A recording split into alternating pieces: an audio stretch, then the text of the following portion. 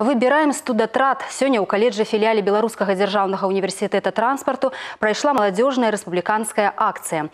Аналагічныя ёй праходзяць зараз ва ўсіх установах адукацыі Беларусі.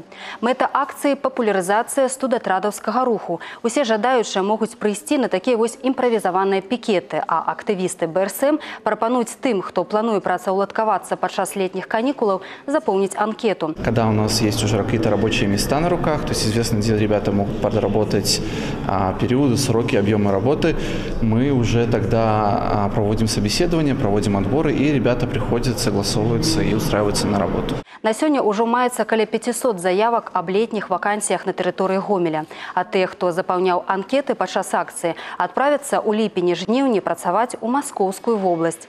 Гэта будзе сельскагаспадарчы атрад, які працуе там штогод. Ён будзе складацца з паўналетніх навучэнцаў каледжа. Летась крыху больш як за месяц кожны студатрадавец зарабіў каля тысячы рублёў.